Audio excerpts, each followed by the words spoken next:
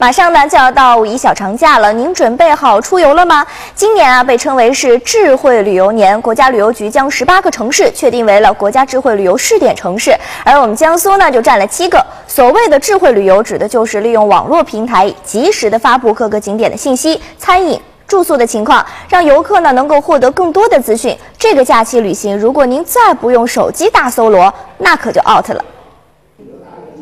台明书是个旅游小达人，从上大学开始就环游全国各地。开始是跟团旅行，小姑娘感到十分拘束。随着智慧旅游的逐步推进，现在她的旅游越来越宽松自由。通过旅游网站订到最实惠的机票，查询景点的实时情况，与网友交流旅游经验，台明书乐此不疲。在一个酒店附近嘛，想到附近看看有什么好吃的，那立刻上微博查了一下，比如说某某酒店附近有什么美食，然后马上就会发现有很多网友就是都发过同样的东西，说大家哇，在酒店的背后就有一条美食街，美食街里有家小店的面特别特别正宗，特别特别地道，当时就是非常开心，马上就循着这个微博来到这家面店，我觉得这种感觉就特别棒。